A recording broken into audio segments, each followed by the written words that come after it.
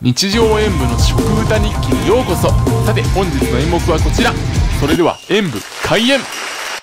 2023年ミスド×祇園辻り抹茶ドーナツコラボ商品第2弾を食べたいと思います。今回も抹茶漬けですね。なんか今回買った時にこういう専用の紙袋に入れてもらえたので楽しいね。では中身はどうなっているのかな？はい。ャンネル登録よろしくお願いします。とこちら手前に前の2つがシュードーナツ。上の2つがイーストドームねちょっと見えづらいですけど。はいもう一度立てますね。さすがにな中身見せるわけに見せて落ちたら嫌なのでちょっとそういうどれも抹茶がいっぱい入っていて美味しそうです。あとほうじ茶もあった。あれほうじ茶もあったっけ？まあそれはちょっと後でで今回は飲み物としてこちらのとちおとめいちご果汁といういいのかな。も用意してます。こち はもう春を感じますね。あピンクと緑で春を感じる組み合わせだと思いませんかあなた。ではまずはこちらのシュードーナツから食べていきたいと思います。茶色だから多分ほうじ茶ですね。ではいただきます。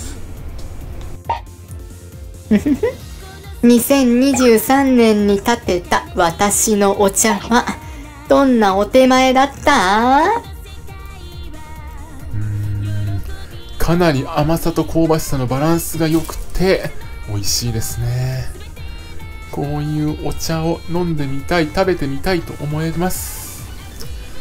そして中に入っている食材もまろやかだったりもっちりしていて時に弾力を与えてくれます。変化を出してくれるのがいいですね。うんなんだろう。もっとあんことかも入ってるのいいしうんと他に何か入れるとしたらどんなのがいいかなとかついつい考えちゃいますね。お茶が美味しいから。さてそれぞれがどのように美味しいのかそして一緒に来てくれたいちごのお水はどのような味なのかについてはこの後すぐにレビューします。ごちそうさまでした。えーっと2023年ミスド辻に抹茶コラボドーナツ2種です。やはり抹茶もほうじ茶もかなり甘さは控えめな種類が生地に練り込まれていて噛んだ瞬間にそれぞれの香り香ばしさが口の中に広がっていました。なのでお茶の味を甘さ以外で感じたいと。いう時にベストですで中にはなんかわらび餅やあんこ。時には栗あん抹茶クリーム。こちらの抹茶クリームは結構甘めでしたね。といってさまざまなもの種類の具材。具材っていうのかな？トッピングっていうのか分かりません。はい出ました。あとチョコレートが上にかかっている。それもカリカリとして音が心地よかったです。なるほどな。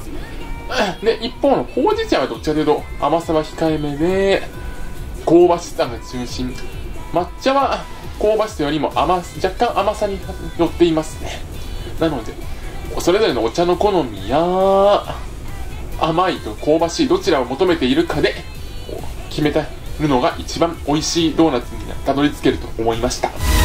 でですね今回飲み物として用意したこちらの栃木とちおとめいちごはいちごの甘酸っぱさそこまで強烈ではなくまったりとしただけど口の中で確実に広がってくるいちごの酸味で結構まろやかでと心まで溶かしてもらえいちごがお好きなのであれば一度飲んでみてもいいかもしれません。なんかそこまで強烈に感じるわけではないので物足りないと思うかもしれない部分もあるんですよね。もうちょっと自分も強かったもいいかなと思う。で今回食べたミスドドーナツはもう今回特にどれがというわけではありません。全種類統括してもう、うん、6文句なしの6点です。お茶の香ばしさ甘さしっかり感じさせてもらいましたね。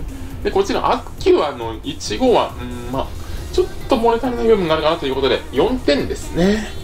もうちょっといちごの甘酸っぱさがさっきも言いましたけど強強く熱になっていればよかったかな。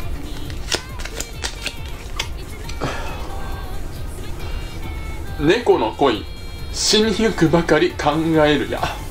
いやいや考えちゃダメでしょそれはご視聴ありがとうございました。コメントしていただけると、そしてよろしければ他の動画も見ていただけると、動画を拡散していただけると嬉しいです。演舞、終演。本日の演目はお楽しみいただけましたか？チャンネル登録、コメント、高評価していただけますと嬉しいです。ではまた明日の演目でお会いしましょう。それでは、さようなら。